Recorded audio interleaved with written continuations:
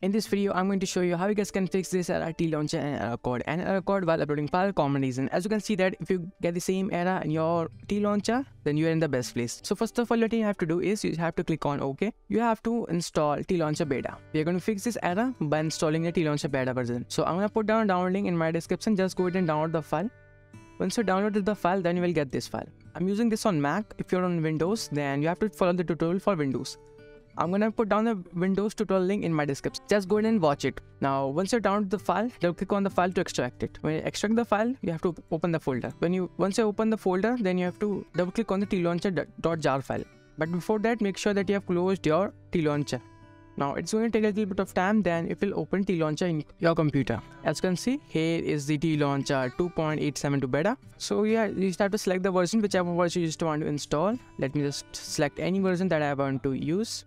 Then I'm to click on enter the game. As you can see, I'm still getting the error. That's why I have to use another version. Let me just use another version of the Minecraft. If I just open Minecraft with this version, then I'll not face any error. But in your case, you just have to install a beta version, then this error will be completely disappeared.